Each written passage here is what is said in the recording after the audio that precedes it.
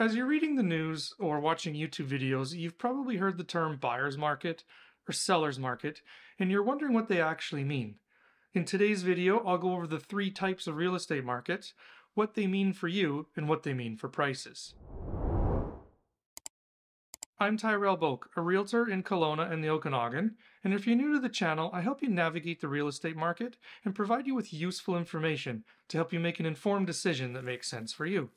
If you get any value out of today's video, make sure you hit that like button so that other people like you can see this video too, and hit that subscribe button so you don't miss out on future videos.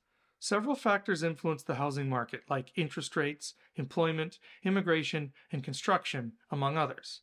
All of these influence the level of supply and demand, which in turn affects prices. There are three classifications used to describe the level of supply and demand in the market. There's a buyer's market, a seller's market, and a balanced market. We calculate the type of market by figuring out months of inventory. That means that if nothing else was listed, how long would it take to sell out all currently available properties based on the current rate of sales? If we have zero to three months of inventory, that's considered a seller's market. In this type of market, there's upward pressure on prices and low inventory. Buyers need to act quickly when they see something that they like in this type of market, and more often than not, they'll find themselves in a multiple offer situation because there's many buyers competing for that same listing. There's a lot of competition for buyers, and most properties are going to sell over the asking price in this type of market. This is generally considered a good market for sellers. In a balanced market, there's typically anywhere from 4 to 6 months of available inventory. Homes sell for a reasonable amount in a balanced market, typically close to the asking price. In this type of market, buyers have more opportunity and usually more choices than they would in a seller's market. They typically have more time to make a decision in this type of market because homes aren't selling the minute that they're listed, and they'll also have the opportunity to have some conditions in their offers. For sellers in a balanced market, you need to do your due diligence to make sure your home is ready for sale and is presented in the best way possible.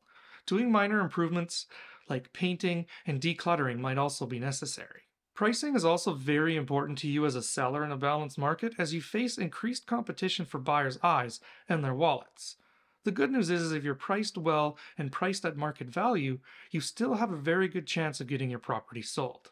A balanced market is considered a win-win for both buyers and sellers. Anytime the market experiences more than six months of available inventory, it's considered a buyer's market. In a buyer's market, there will be pressure on prices to come down, or at the very least, any increases will be below the pace of inflation. Buyers looking for a deal are going to love this type of market as there's going to be a ton of properties to choose from, and chances are you're going to be able to negotiate a good deal for yourself because there will be some sellers who are more motivated to sell than others.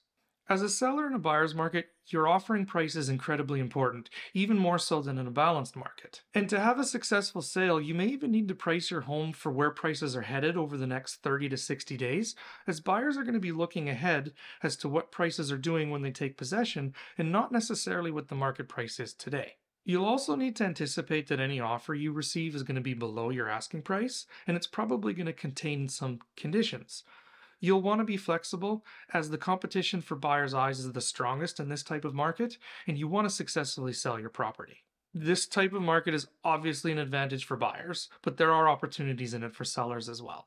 So there you have it. There are three types of real estate market. There's a buyer's market, a seller's market, and a balanced market. The situation is fluid, and a good real estate agent is going to have their finger on the pulse and be able to tell you what your local market is doing on a weekly or a monthly basis.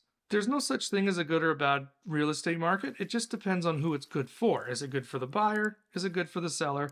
Or is it good for both, like in a balanced market? I'm curious, what type of market would you like to buy or sell in? Let me know in the comments below which type of real estate market you prefer and if that changes based on your current situation. If you'd like to book a discovery call with me, hit the first link in the description. You'll be taken to my calendar where you can book a time that works best for you. We'll see you next time.